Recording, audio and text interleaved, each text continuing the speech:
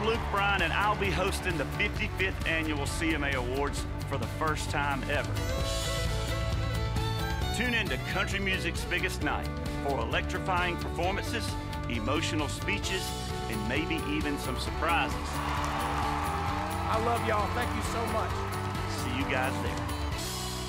Country Music Awards 2021, viernes 17, on DirecTV.